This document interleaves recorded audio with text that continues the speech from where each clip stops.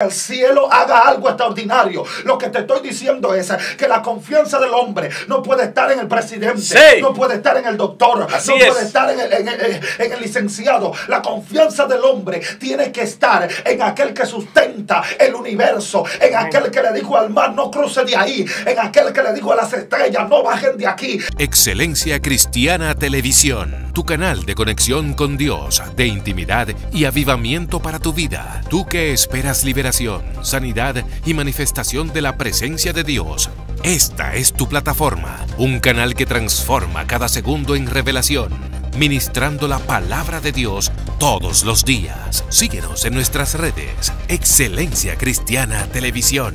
Esta es tu plataforma.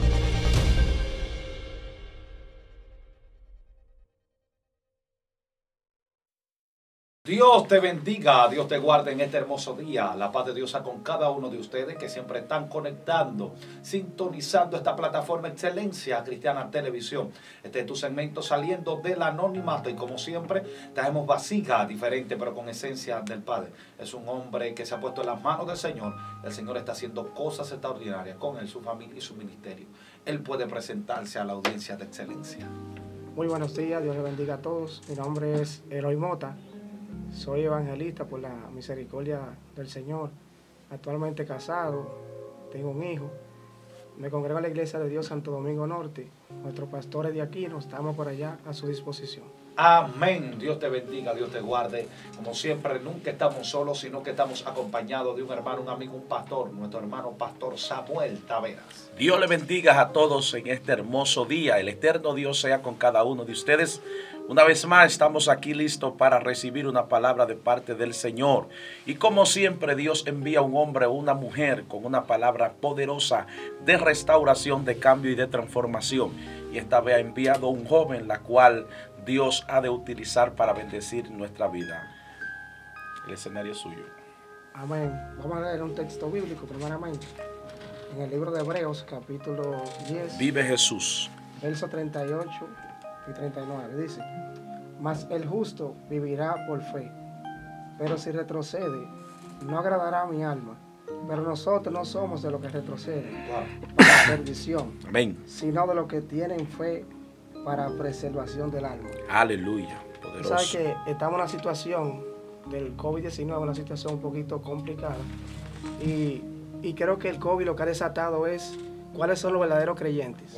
Porque mucha gente eh, se han apartado, mucha gente se han alejado, pero otros se han mantenido su fe Amén, activa. Así es. Creo que la iglesia más que nunca está siendo perseguida, más que nunca la iglesia está siendo azotada, pero ese azotamiento va a traer a la iglesia el mayor avivamiento de los últimos tiempos. Yo creo que la iglesia debe estar preparada para recibir algo poderoso en los últimos ah, tiempos. Y yo no sé ustedes, pero yo creo que yo voy a ser parte de ese avivamiento, no me pienso detener. Sí, sí, sí. Así que eh, le invito a los oyentes a que eh, mantengan su fe activa, no importa lo que tú veas, no importa que todo el mundo a tu alrededor se caiga a pedazos. Recuerda que lo que Dios ha dicho va a prevalecer y nadie lo podrá detener. En una ocasión, yo hace unos domingos, el Señor me daba una palabra y yo no entendí en el momento. Le decía, Señor, pero ¿qué es esa palabra que tú me das? Decía que había personas que son como árboles, que están plantados en un lugar y tú lo ves que están frondosos y están rebaldecidos, pero cuando son plantados en el desierto, esos árboles se mueren. El Señor me decía, así mismo hay personas que cuando están en un ambiente eh, sereno y árido, están tranquilos, pero cuando son transportados en el desierto, se muere su fe, se muere su, esencia. Bendito sea el nombre de Dios. ¿Qué te quiero decir en esta mañana? No importa en qué terreno tú te muevas, si Dios te dio una palabra, camina porque Él va a hacer algo. Así es. Así que no te detengas en esta mañana. Si el justo vive por fe, si tú eres justo, es porque Dios ha depositado una palabra extraordinaria sobre tu vida. En una ocasión, recordamos que cuando estaba Moisés en el desierto, el Señor le dice a Moisés en un encuentro, Moisés, yo voy a enviar a mi ángel para que te acompañe. Y Moisés dijo, óyeme, si tú no vas conmigo, si tu presencia no va conmigo, no me saques de este lugar. Prefiero estar en el desierto, pero con la presencia. Prefiero estar en mi calamidad, pero con la presencia. Prefiero estar pasando cualquier necesidad, pero con la presencia del Señor. Amén, así es. Porque no es lo mismo tú estar con la presencia que estar sin la presencia de Dios. Sí. Lo que como creyente nos sostiene, nos mantiene vivo, nos mantiene activo la presencia del Señor. Por eso Pablo decía en una ocasión, yo sé vivir cual sea mi circunstancia, sé vivir en escasez, sé vivir, no importa la abundancia que tenga, yo sé vivir en cualquier circunstancia porque yo he conocido al Dios que donde no hay nada provee algo. Yo he conocido al Dios que donde alguien ha fracasado, él, ha triunfado. Yo he conocido al Dios que donde alguien eh, se ha atemorizado, alguien ha levantado su y ha dicho, oye, yo voy a leer la palabra aunque me corten la cabeza. No importa lo que, bendito sea el Señor, si la víbora me pica, yo lo voy a sacudir en el fuego en el nombre del Señor. No importa lo que el enemigo diga en esta mañana, hoy me levanto con determinación. No importa lo que el enemigo diga, lo que el sistema diga, hoy tú debes levantarte, hoy tú debes entender que si, si tú estás vivo porque la fe del Señor te mantiene, porque, porque eres justo, la fe del Señor nunca te va a dejar, bendito sea el nombre de Dios. Wow, wow, tremendo lo que el profeta está soltando. No importa dónde te encuentres en este día, sea mañana, sea tarde, sea noche, donde sea que tú estés, el justo por la fe vivirá. Lo que tú te debes preocupar es de ser justo en medio de una sociedad corrupta. Y conectando con lo que tú decías, y es que tú hablabas y decías que tú conectabas con algo de que, de que cuando las, eh, los árboles están en el desierto, hay muchos árboles también que tú los puedes poner en cualquier lado y son frondosos, pero si tú te das cuenta no tienen raíces. Pero algo me gusta de la palmera y es que la palmera la ponen en el desierto y cuando la ponen en el desierto tú pones otro árbol que no sea la palmera y acontece algo que muere, pero la palmera comienza a echar sus raíces para abajo y comienza a buscar agua de donde sea, porque ella dice, tengo que mantenerme conectada al agua, porque lo que me, da, me va a dar vivencia en medio del desierto es la conexión que yo tenga. Así es. Y hay muchas veces que la palmera con sus raíces no puede llegar a una conexión con el agua. Y tú sabes que ya hacen, ellas se conectan con otro árbol que esté conectado al agua. Por eso, por eso es que yo te estoy diciendo, muchas veces a ti la oración no te va a salir. Muchas veces tú vas a decir, no quiero orar la palabra, pero dependiendo con quién tú estés conectado, así será tu sobrevivencia. Así es. Hay gente, hay gente que si no hubiese sido porque ellos están conectados con alguien que ellos aman o alguien que le da la directriz correcta, esa gente estuvieran en el mundo. Sí, ¿cómo así? Yo me acuerdo que cuando yo me convertí, yo estaba, yo estaba jovencito, no, no es que soy tan viejo, pero cuando yo me convertí, yo me convertí en, mi adolescencia y, yo estaba en el barrio de donde vengo y, tenía dos meses y algo me decía a mí, descarríate, eh, eh, eh, suelta el evangelio, ya, ya no sea más evangélico. Y yo nunca pensé en Dios, dije, ¿qué va a pensar Dios de mí? Yo dije, ¿y qué va a pensar el pastor Kelly Polanco, alguien que yo andaba con él? ¿Qué él va a pensar de mí si yo me descarrío? Lo que me mantuvo en ese momento fue que yo pensé en él y yo dije, yo no puedo soltar eso, no por amor a Dios, sino por amor a él. Y hay veces que tú tienes que conectarte con gente que son agua, sí, con aleluya. gente que conectado a la fuente, porque si te conectas con ellos, tú también te mantendrás conectado. Así es. Lo que pasa es que hay gente que tiene una arrogancia demasiado grande, que ellos no se conectan a nadie, porque ellos piensan que ellos son los torontontón, que ellos piensan que ellos son los grandes. I'm sorry, baby, lo siento. Aquí el único grande se llama Dios. el justo por la fe vivirá. ¿Y qué la fe? La fe, la certeza de lo que se espera y la convicción de lo que no se ve. Lo que está diciendo es que cuando otros mueran, tú estás viendo que tú vas a vivir. Cuando otros sean derrotados, tú estás viendo que tú vas a ser victorioso. Cuando otros digan, estoy enfermo, tú estás diciendo, estoy sano. Cuando otro diga, ah, esto sí acabó, tú digas, estoy bendecido. Aleluya. Tiene una conexión demasiado directa que, que por afuera se puede caer lo que sea, pero por debajo tú estás conectado junto a corrientes de agua. Ay, papá. Dios mío. Está fuerte. Escucha esto. Fuego. Cuando nosotros nos vamos a la Biblia, nos damos cuenta que hubieron personas que estuvieron a punto de soltar todo. Pero la fe hizo que ellos creyeran posible, que ellos creyeran que lo que era imposible para el hombre, para Dios es posible. La Biblia dice que de repente una mujer que tenía 12 años sufriendo de flujo de sangre, dice que esta mujer, dice que le cayó de atrás de Jesús. Ahora, ¿por qué le cayó atrás de Jesús? ¿Por el problema que tenía? No, por la fe que ella tenía. Porque ella entendía que solamente con tocar el borde del manto del maestro, ella iba a recibir el milagro. Entonces hay gente que están ahí, que nos están viendo a través de esta plataforma, que están a punto de rendirse, están a punto de soltar todo. Han dicho, ya no puedo más. gente que ya está rendida mentalmente. Yo vine a decirte en este día que tú lo que necesites es tocar el manto. Cuando toque el manto, tus hijos van a cambiar. Cuando toque el manto, tus hijos serán diferentes diferente. Entonces tú lo que necesites es tocar el manto. La última opción no es rendirte, es tocar el manto. Si tocas el manto vas a recibir el milagro. Ahora, ¿qué fue lo que hizo que esta mujer tocara el manto? ¿La enfermedad que tenía? No. Lo que hizo que ella tocara el manto fue la fe que le hizo reconocer que simplemente tenía que tocar el manto. Ella dijo, yo no lo voy a abrazar, yo no le voy a rogar, yo lo voy a tocar. Es decir, la fe que está, alma mía, adora a Dios que siento su presencia. La fe que esta mujer tenía era suficiente con tan solo tocar el manto. Es decir, ella dijo, yo no le voy a rogar, yo no le voy a pedir, lo voy a tocar. Inmediatamente la fe de ella le permite reconocer que Jesús no tenía que saber quién fue que lo tocó para ella recibir el milagro, sino que ella tenía que reconocer, la fe le hizo reconocer que simplemente aunque Jesús no la viera, pero el toque era lo que iba a producir el milagro. Dios mío, Al Dios mío, está fuerte. Wow. Aleluya. Realmente que Dios está en este lugar, la presencia está, está, muy fuerte. Eh, yo no sé si lo, lo que están escuchando eh, en este momento están conectados, pueden sentir Aleluya. hay una atmósfera de presencia en esta mañana. Y déjame decirte que en esta mañana Dios ha establecido para que alguien que había menguado su fuego hoy la aumente en esta mañana. Para que alguien como decía nuestro pastor Samuel y nuestro hermano eh, ilustraba eh, lo de la palma. Y mi hermano Samuel ilustraba lo de lo de esta mujer con 12 años con el flujo de sangre, son historias impactantes porque que cuando tú ves la esencia, dice, wow, de, de la nada, eh, cómo eh, esta palmera busca, no, busca la forma de conectarse.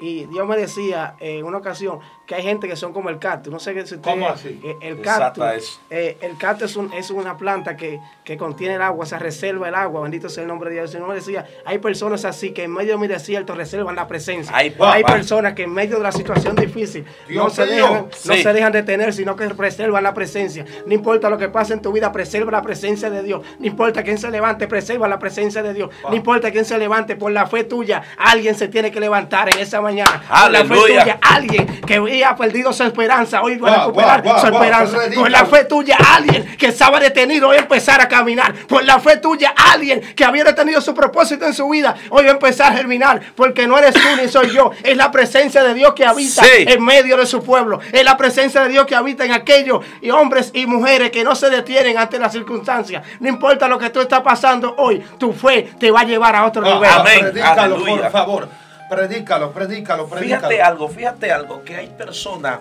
que ellos caminan por lo que ven. Cuando tú caminas por lo que tú ves, tú eres un fracasado en medio de muchos victoriosos. Ahora, ¿por qué soy un fracasado en medio, en, mucho, en medio de muchos victoriosos? La Biblia dice que la fe es la certeza de lo que se espera y la convicción de lo que no se ve.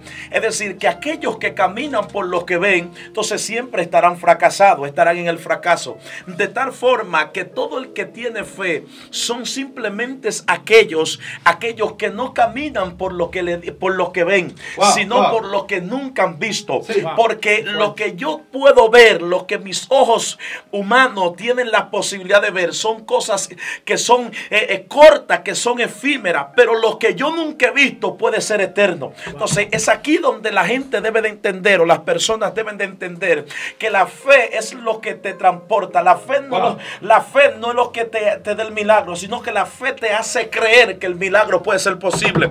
Y cuando tú crees que el milagro puede ser posible, entonces tú caminas detrás del milagro. Entonces, lo que necesitamos en este tiempo es personas que se levanten en fe. Yo no sé la condición que tú estás atravesando. Yo no sé por lo que tú estás pasando. Yo no sé cuál es, cuál es tu condición, dónde estás parado. Pero quiero decirte que si sientes que todo terminó para ti, es donde todo Dios quiere comenzarlo. Es donde Dios quiere iniciar una nueva etapa. Tú necesitas tener la fe. Si agarra la fe, si la haces tuya, Cosas que nunca tu mente pudieron creer que fuera posible, serán posibles. La fe te va a dar, es la fe como una licencia para tú conducirte en un nivel que tú nunca has caminado. Entonces hay gente que necesitan lo que, lo que se llama la fe, para ellos poder ver lo que su mente no cree, lo que su mente no puede percibir.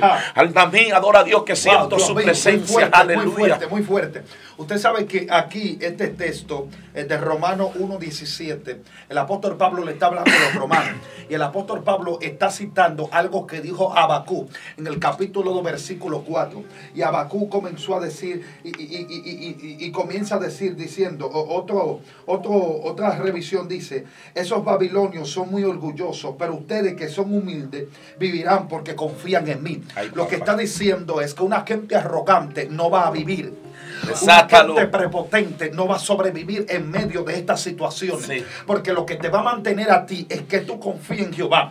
La palabra de Dios dice que los que confían en Jehová son como que como el monte de Sion, que no se mueven, sino que permanecen para siempre. Pero ahora yo te hago una pregunta. En los montes a veces no se hacen incendios. En los montes a veces no pasan cosas extrañas que la gente dice, yo no voy a entrar a ese monte. Pero algo me impresiona y es que los que confían en Jehová son como el monte de Sión, que no se van a mover, sino que permanecen para siempre. Lo que Dios le está diciendo es, aunque vengan batalla, tú vas a permanecer. aunque vengan guerra, tú vas a permanecer. aunque se levante quien se levante, tú vas a permanecer. Aunque te quieran quitar los árboles y los frutos, como quiera, tú vas a permanecer. Porque tú has entendido que la confianza que tú tienes está en mí y no en ti. Hay gente que, eh, algo que tiene la arrogancia, y es que la arrogancia y la prepotencia eh, es, confía demasiado en el hombre. El humanismo está operando operando demasiado en los altares. Tenemos demasiada gente humanista. Tenemos demasiada torre de Babel en los altares. Gente que piensan que ellos son los grandes. En estos tiempos no necesitamos torres. En estos tiempos necesitamos pequeñas piedras que se pongan a disposición del cielo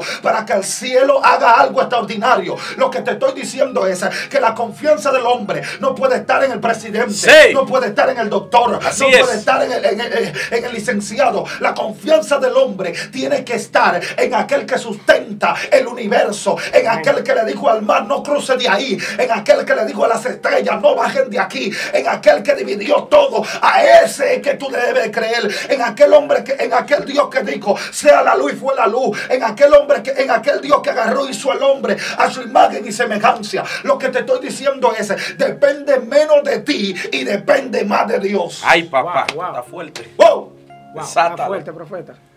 Sabes que eh, yo vi muchas lecturas relacionadas al justo con la fe vivirá, pero me llamó la atención más esta parte de Hebreo, Y también porque que, eh, lo que leímos decía Pablo, que decía que, lo que lo que estamos no retrocedemos. O sea, entendemos que eh, en estos tiempos el sistema es para que el, el creyente retroceda. El sistema está creado por base para que el eh, nos atemoricemos de tal manera que ni siquiera salgamos a la calle, que no prediquemos, que no hagamos eh, la palabra, porque quieren prohibir a la iglesia, pero, pero abren todo tipo de negocios, ¿verdad? Es ¿Cierto? Y, yo meditaba en esta palabra, decía, wow, yo no sé qué situación estaba pasando allá cuando Pablo dice esta palabra, que nosotros no somos de los que retrocedemos. Eh, yo soy de lo que digo que si tú fuiste señalado para este tiempo difícil, es porque tú tienes las cualidades para sobrevivir en ese tiempo difícil. yo no sé si tú eh, has pasado por el desierto, pero yo sé que ustedes, yo conozco al pastor Samuel y sé que ha pasado por el desierto. Yo he pasado por el desierto y he sobrevivido. El, desierto no es para matarte, el desierto no es para detenerte, el desierto es para sacar lo mejor de ti, el desierto es para sacar ese hombre escondido, ese profeta escondido que por mucho tiempo estuvo opacado, pero que Dios lo ensancha. Bendito es el nombre del Señor, porque mucha gente hoy están buscando títulos, pero hay hombres y mujeres, bendito sea el nombre del Señor, que quieren buscar la presencia. Eh, hay un tema eh, eh, público de la pastora, el tema público que está en la palestra, y han querido atacar al ministerio pastoral pero Dios me decía una palabra en relación a esto y me decía, es que hay pastores todavía que no venden su palabra por un plato de lenteja. Hay todavía, hay pastores y hombres de Dios, bendito sea el nombre del Señor, que no importa lo que pase, su fe está por encima, la presencia está por encima de lo que puedan darle. No hay nada económico, no hay nada que te pueda eh, apartar de la presencia. Cuando tú estás en la presencia y eres justo, nada ni nadie puede tener el propósito y el llamado que Dios ha establecido sobre tu vida. Bendito sea el nombre de Dios. El justo por la fe es que va a vivir, no va a vivir por el dinero no va a vivir por nada. Debemos fijarnos enfocarnos en, el Dios que nos llamó y, dejar todo lo que está a nuestro alrededor, cualquier persona que caiga, cualquier persona que, que se extravíe de la verdad, debemos de enfocarnos en nuestra fe, en lo que nosotros hemos creído, porque muchas veces nos enfocamos en lo que está afuera, pero no enfocamos en lo que está por dentro. Eh, hay otro texto que dice, el justo por la fidelidad vivirá. Lo que está diciendo, según el nivel de tu fidelidad en medio de las circunstancias, eso es lo que te va a mantener con vida. Lo que pasa es que hay gente que son fieles en lo poco, pero no son fieles en lo mucho. Hay gente tampoco que ni en lo poco ni en lo mucho son fieles. Entonces esa gente no van a vivir. Lo que el apóstol Pablo le está diciendo a los romanos, él comienza a hablarle del poder del evangelio. Él está diciendo el poder del evangelio es demasiado extraordinario. Le está diciendo esto es locura para los que se pierden, pero para nosotros es poder de Dios. Lo que le estamos diciendo a esta generación, que lo mejor que le puede pasar a un hombre, lo que mejor le puede pasar a una mujer es poner su fe en el Señor. En un momento los discípulos querían reprender a un demonio que había en un joven y, le dijeron, eh, eh, eh, comenzaron a reprender, le llevan a Cristo, le dicen, no pudieron echarlo fuera. Y Cristo lo echó fuera, lo sanó, lo libertó. Y Cristo le dijo, si tuviera fe como un granito de mostaza, aunque sea, le dijo, hay algo que ustedes deben de hacer. Y es que este género, este género de fe no sale si no es con ayuno y oración. Porque la, el ayuno y la oración no es para que tú eh, eh, eh, te creas más grande, es para que tú entiendas que porque tú estás conectado con Él, lo que va a pasar no es por ti, sino es por Él. Amén. Lo que le estoy diciendo es que cuando tú ayunas, ayuna, tu carne baja. Cuando tú oras, todos tus preceptos humanos se van. Y tú entiendes que la dependencia tuya es por Él, que los enfermos son sanos por Él, que los cautivos son libertados por Él, que el que está caído levantado es por Él. Pero eso va de acuerdo a tu fe. Si tuviera fe como un granito de mostaza, si vemos el granito de es algo pequeño, lo que le está diciendo es lo que ustedes se dispongan en su corazón y en su mente, ustedes lo van a lograr. Pero el punto es que ustedes quieren lograr cosas para su propia conveniencia. Y la fe no se basa en conveniencia propia. La fe se basa en que el reino sea establecido. Tú ves gente que tienen una super fe y yo no creo en una super fe, yo creo en una fe verdadera y, genuina. Es tremendo, tremendo, pastor. Poderoso. Esto está poderoso. Hablar de fe es hablar de algo que activa lo que está desactivado en la vida del ser humano. Escucha esto. La fe es lo que hace posible lo que mi mente no tiene la capacidad de percibir ni recibir. ¿Por qué? Fíjate algo que Dios que, en Génesis la Biblia habla de un hombre llamado Abraham. La Biblia dice que Abraham era conocido como el padre de la fe.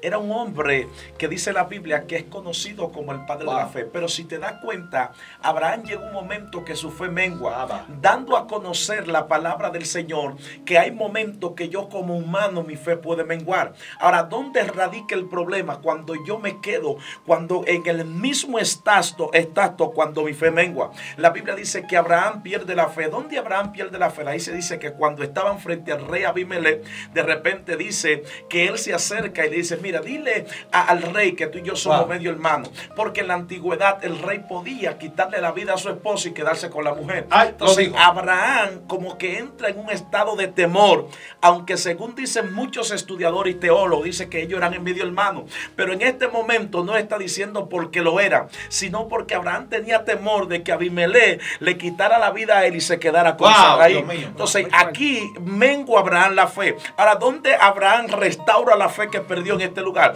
Cuando le dice que sacrifica a Isaac, a, tu único hijo, a quien quieres, a quien ama. La Biblia dice que Abraham inmediatamente cogió su muchacho. Entonces, aquí Abraham recibe otra vez lo que perdió. Entonces, te está llamado que si un día tu fe menguó por tu situación económica, por tu proceso, tienes que levantarte, ah. tienes que restaurarte ungido, a una oración por esa gente ahí que su fe está menguando. Sí, que piensan como que no dan para más ya. Ora por esa gente ahí. Exacto, una palabra ahí sobre ellos. Ah. Está muy fuerte lo que. Dios mío, suéltala. esta mañana. Y, y es que eh, el justo. Nadie lo puede detener al justo. No, no, indetenible, imparable. en esta mañana hay gente indetenible que está conectada. Y aquellos que en un momento han dudado, vamos a hacer esta oración para que el Señor active esa fe que si quizás se ha perdido en alguien esta mañana. Oremos, bendito sea el nombre Señor Padre, te damos gracias. Gracias Jesús. En esta mañana porque reconocemos gracias, que tuya es la gloria, que tuyo es el poder, Yo sé, Señor, que desde la madrugada no podía dormir a causa de esta palabra. El justo por la fe vivirá. Y tú lo decías, me lo decías. Es porque alguien, algún oyente en esta mañana tiene que escuchar que la fe será activada en esta mañana. Aquellos, Señor, que han perdido la motivación, en esta mañana declaramos que tú lo levantas. Aquellos guerreros y guerreras, Señor, que se han detenido, no importa las circunstancias que estén viviendo. Yo declaro que hoy se levantan en esta mañana. Yo declaro, Señor, que esos hombres y sus mujeres se levantan con una palabra determinante en esta mañana. En esta mañana declaramos, Dios, hombres y mujeres que van a seguir hacia adelante, no importa lo que estén pasando, no importa lo que estén viviendo. Algún oyente hoy será levantado en esta mañana. Algún oyente va a testificar de que alguien se levantó, de, que una palabra de vida en esta mañana lo restauró. Declaramos, Señor, por la fe, por la fe declaramos que son libres aquellos cautivos en esta mañana. Por la fe declaramos que alguien enfermo hoy se sana. Por la fe declaramos que alguien, bendito sea el Señor, que había perdido su esperanza, hoy la recupera y la pone en ti. Gracias te damos, lo dejamos en el nombre del Padre, del Hijo y del Espíritu Santo de Dios. Amén. Dios te bendiga, Dios te guarde, ungido la paz de Dios contigo. Así como prospera tu alma, pueda prosperar todo lo que emprenda y todo lo que haga en el Señor, pastor. Dios le bendiga, Dios le guarde. Fue un privilegio estar aquí con estos hombres de Dios. Y entienda que el justo por la fe vivirá. No olvides suscribirte a esta plataforma Excelencia Cristiana Televisión y activar la campanita y poner ahí en la caja de comentarios por la fe yo voy a vivir. Dios te bendiga, Dios te guarde. Excelencia Cristiana Televisión, tu canal de conexión con Dios, de intimidad y avivamiento para tu vida. Tú que esperas liberación, sanidad y manifestación de la presencia de Dios. Esta es tu plataforma, un canal que transforma cada segundo en revelación ministrando la palabra de Dios todos los días. Síguenos en nuestras redes. Excelencia Cristiana Televisión. Esta es tu plataforma.